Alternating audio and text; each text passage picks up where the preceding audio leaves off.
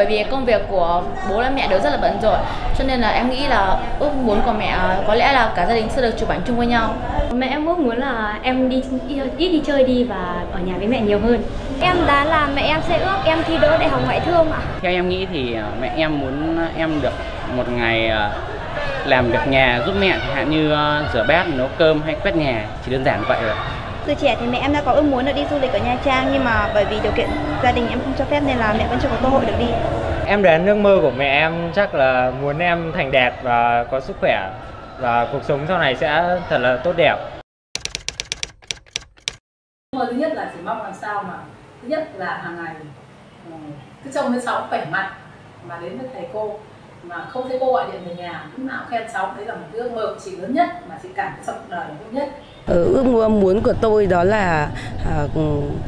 à, một gia đình hạnh phúc con cái thành đạt và à, con cái là những người mà à, giúp ích cho xã hội mong muốn của tôi lớn nhất trong cuộc đời là cháu được đứng trên bục danh dự của nhà trường và thấy được cái phần thưởng cao quý nhất. Cháu mang về được cái bằng khen và một bông hoa cũng được. Đây là một muốn rất là mong lớn nhất của chị trong cuộc đời mình chịu hai cháu nhưng mà